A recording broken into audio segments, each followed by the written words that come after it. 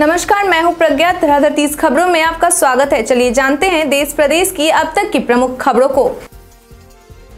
भारत सरकार के सूचना एवं प्रसारण मंत्रालय ने कई भारतीय और पाकिस्तानी यूट्यूब न्यूज़ चैनलों को भारत की राष्ट्रीय सुरक्षा, विदेश संबंधों और सार्वजनिक व्यवस्था से संबंधित दुष्प्रचार फैलाने के लिए ब्लॉक किया है, जिनमें सात भारतीय और एक पाकिस्तान स्थित यूट्यूब चैनल है।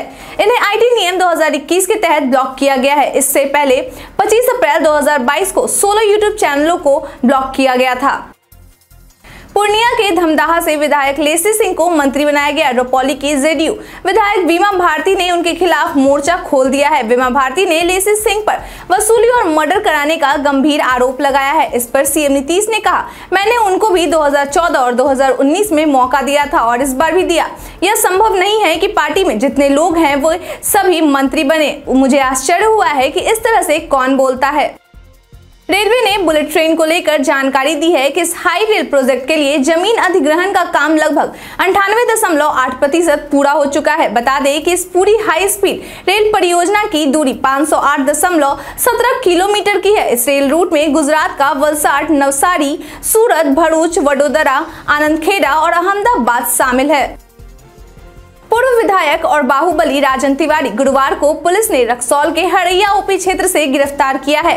बता दें कि राजन तिवारी पर पच्चीस हज़ार का इनाम भी रखा गया था। बाहुबली राजन तिवारी वर्ष 2005 में पूर्वी चंपारण ज़िले के गोविंदगंज विधानसभा से निर्दलीय लड़ा था और जीत भी गया था।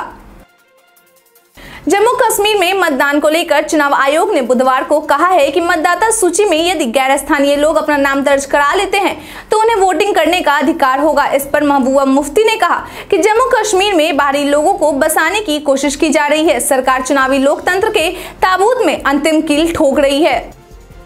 जेडीयू के पूर्व राष्ट्रीय अध्यक्ष व पूर्व केंद्रीय मंत्री आरसीपी सिंह अब जल्द ही बीजेपी का दामन थामेंगे। उन्होंने कहा कि मैं बिल्कुल बीजेपी ज्वाइन करूँगा और नीतीश कुमार सात जन्मों में भी देश के प्रधानमंत्री नहीं बन सकते हैं। केंद्रीय मंत्री बनने के सवाल पर कहा कि नीतीश कुमार झूठ बोल रहे हैं। उनकी सहमति से ही वे मंत्री बने थे। यह बात ललन सिंह भी जानते हैं। उत्तर प्रदेश के बाहुबली नेता मुख्तार अंसारी के दिल्ली और उत्तर प्रदेश के ग्यारह ठिकानों पर ईडी की कार्रवाई चल रही है। गाजीपुर के मोहम्मदाबाद में मुख्तार अंसारी के घर पर लखनऊ से ईडी की टीम पहुँची है। इसके अलावा टाउन हॉल में खान बस सर्विस के मालिक के यहाँ सोना व्यवसायी विक्रम अग्रहरी और प्रॉपर्टी डीलर गणेश दत्त मिश्रा के यहाँ भी छापेमारी हुई है। अश्विनी चौबे ने कहा, नीतीश कुमार इस्तीफा दे। उन्होंने बिहार की जनता की आँखों में धूल झोंका है। नीतीश कुमार को सब पता था, ये मुख्यमंत्री इस्तीफा दे। उनको कुर्सी पर बैठने का हक नहीं है। उन्होंने कहा, मैं आरोप लगाता हूँ और इसकी जाँच होनी चाहिए। शपथ ग्रहण वाले दिन राजभवन में सारे अपराधी मौजूद थे। कांग्रेस के वरिष्ठ नेता और सांसद जयराम रमेश ने बैंकों में अग्निवीर के तर्ज पर कर्मचारियों की बहाली के फैसले को लेकर मोदी सरकार पर निशाना साधा है। उन्होंने ट्विटर पर एक पोस्ट में कहा, सेना के बाद मोदी सरकार ने पब्लिक सेक्टर में बैंक में कॉन्ट्रैक्ट पर रोज़गार देने की तैयारी शुरू कर दी है। यह पिछले दरवाजे से निजीकरण का नया तरीका है। अग्निवीर बहाना है। पूरे सार्वजनिक क्षेत्र में कॉन्ट्रैक्ट व्यवस्था लाना है। बिहार सड़सठवीं प्रारंभिक परीक्षा के लिए आवेदन किए छह लाख से अधिक उम्मीदवारों का। परीक्षा की तिथि की घोषणा को लेकर चल रहा इंतज़ार समाप्त हो जाएगा। आयोग के नए अध्यक्ष तारीख का ऐलान आज कर सकते हैं। घोषणा के बाद सभी परीक्षाओं की तिथियों से संबंधित नोटिस आधिकारिक website dot B I H dot N I C dot in पर जारी किया जाएगा। भारतीय किसान यूनियन टिकैत ग्रुप के बैनर तले उत्तर प्रदेश के लखीमपुर खीरी में राजापुर कृषि उत्पादन मंडी समिति में आज विशाल धरना प्रदर्शन का आयोजन किया जा रहा है। यह धरना 11 बजे से शुरू हुआ था, जो कि करीब 75 घंटे तक चलेगा। इस धरना प्रदर्शन में इकतीस संगठनों के जत्थेदारों के शामिल होने की बात कही जा रही है। एशिया के सबसे अमीर इंसान और अडानी समूह के चेयरमैन गौतम अडानी श्रीलंका में बड़ा निवेश करने जा रहे हैं। श्रीलंका के ऊर्जा मंत्री और बिजली मंत्री कंजना विजय सिकारा ने बुधवार को सोशल मीडिया के माध्यम से यह जानकारी साझा की है कि अडानी ग्रीन एनर्जी को मन्नार में दो सौ छियासी मेगावाट और पुनरी में दो सौ चौंतीस मेगावाट की दो पवन परियोजनाओं के लिए शुरुआती मंजूरी दे दी गई है। विराट ने कहा, मैं ऐसे भी समय का अनुभव कर चुका हूँ जब मेरे कमरे में मुझे समर्थन करने वाले मेरे अपने लोग मौजूद थे। इसके बावजूद मैं अकेला महसूस करता था। मुझे पता है कि ऐसे काफ़ी लोगों के साथ गुजरा होगा और वह इसे समझेंगे, इसलिए खुद के लिए समय निकाले और खुद से जुड़े। तापसी पन्नू ने कहा कि मैंने उससे कहा कि मैं एक स्टार बनना चाहती हूँ और उसने मुझे डांटा भी है। दोबारा के एडिट के बाद जब अनुराग और मैं लड़े तो उन्होंने कहा, तुम मेरे साथ काम क्यों करते हो? अगर आप स्टार बनना चाहते हैं तो जाइए और रोहित शेट्टी के साथ काम कीजिए। लेकिन हर किसी का फॉर्मूला एक जैसा नहीं होता। मैं स्टारडम के लिए एक अलग रास्ता अपनाना चाहती हूँ। टीम इंडिया के पूर्व कप्तान विराट कोहली ने आज ही के दिन 14 साल पहले अपना इंटरनेशनल क्रिकेट में डेब्यू किया था। विराट कोहली ने भारत के लिए अब तक 102 टेस्ट मैच में आठ हज़ार चौहत्तर रन और दो वनडे मैचों में बारह रन बनाए हैं। वहीं निन्यानवे टीम इंटरनेशनल मैचों में कोहली ने तीन हज़ार तीन सौ आठ रन बनाए हैं।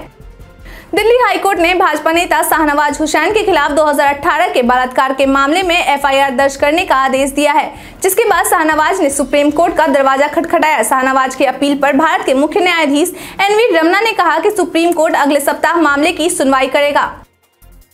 बीसीसीआई ने पिछले महीने अहमदाबाद में ग्रुप डी यानी महिला और जूनियर मैचों में अंपायरिंग करने के लिए परीक्षा का आयोजन किया था। इसमें 140 अभ्यर्थियों में से केवल तीन ही पास हो पाए। परीक्षा को पास करने के लिए 200 में से 90 अंक लाने थे। महामारी के बाद यह पहली बार था कि बोर्ड ने अंपायरिंग के लिए परीक्षा कराया। भारत में भी जल्द ही सभी मोबाइल फ़ोन, लैपटॉप, इलेक्ट्रिक घड़ियों जैसे सभी इलेक्ट्रॉनिक उपकरण के लिए एक ही यूनिवर्सल चार्जर हो सकता है। केंद्र सरकार यूनिवर्सल चार्जर मॉडल अपनाने की संभावना पर विचार कर रही है और इस पर विचार जानने के लिए एक पैनल का गठन करेगी। कॉमेडियन राजू श्रीवास्तव दिल्ली के एम्स अस्पताल में भर्ती हैं। राजू श्रीवास्तव को 10 अगस्त को वर्कआउट के दौरान हार्ट अटैक आया था। उसके बाद से वह एम्स में एडमिट है। वह ठीक थे, लेकिन मैंने उन्हें कहा था कि वह अपनी हेल्थ का ध्यान रखें। उन्हें कोई परेशानी नहीं थी और सब ठीक था। पंद्रह दिन के बाद हमें पता चला कि वह अस्पताल में भर्ती है। मुझे पता है, पूरा देश उनके लिए प्रार्थना कर रहा है। वह जल्द ही ठीक हो जाएँगे। लद्दाख में फ़िल्मों के दीवानों को नया ठिकाना मिल गया है। यह सिनेमा हॉल कोई आम इमारत नहीं है, बल्कि इन्फ्लेटेबल टेंट से तैयार किया गया थिएटर है, जिस पर बाहर के खराब मौसम का कोई असर नहीं होता। और अब लद्दाख में लोगों को मनोरंजन का एक नया ज़रिया मिल गया है। एक साथ 140 लोग इस सिनेमा हॉल में फ़िल्म देख सकते हैं और टिकट की कीमत 200 से 250 रुपए के बीच है। प्रधानमंत्री नरेंद्र मोदी की अगले हफ़्ते मोहाली में होमी बाबा कैंसर अस्पताल एवं अनुसंधान केंद्र का उद्घाटन करने के लिए पंजाब की यात्रा करने की संभावना है। पंजाब सरकार के एक वरिष्ठ अधिकारी ने बुधवार को बताया कि प्रधानमंत्री के कार्यक्रम की अंतिम पुष्टि की अभी प्रतीक्षा है। उनके अनुसार मोदी के 24 अगस्त को मोहाली आने की संभावना है। चंद्रकांत पंडित अपने सफल कोचिंग के लिए पूरे भारत में चर्चित व्यक्ति हैं। अब आईपीएल का टीम कोलकाता नाइट राइडर्स का मुख्य कोच नियुक्त किया गया है। इसी के साथ ऐसा पहली बार हुआ जब वो टॉप लेवल क्रिकेट के कोच होंगे। इससे पहले वो रणजी में ही बतौर कोच नज़र आते थे। दुनिया के सबसे प्रदूषित शहरों की सूची में भारत के दो शहरों का नाम सबसे ऊपर है, दिल्ली और कोलकाता दोनों शहर। पूरी दुनिया में सबसे अधिक प्रदूषित है। इसी के साथ मुंबई चौदहवीं रैंक पर है। इन तीनों शहर के लोग पीएम 2.5 के स्तर पर संपर्क में हैं, जो वैश्विक औसत से बहुत अधिक है। मानगो उल्टी थाना के पास बैंक ऑफ़ इंडिया में चार डकैतों ने आज 11 बजे लूट की घटना को अंजाम दिया। ग्राहकों ने बताया कि डकैती ने खुद को सीबीआई अफसर बताकर सबसे पहले तो बैंक में मौजूद सभी ग्राहकों और कर्मचारियों का फ़ोन जमा कर लिया। इसके बाद कैश काउंटर के अंदर जाकर उन्होंने लूट की। राष्ट्रीय सुरक्षा सलाहकार अजीत डोवाल के आवास की सुरक्षा में इस साल फरवरी में हुई चूक के मामले में सीआईएसएफ के द्वारा तीन कमांडो की सेवा से बर्खास्त कर दिया गया है। यही नहीं, मामले में लापरवाही के लिए एक डीआईजी और एक कमांडर का तबादला भी कर दिया गया है।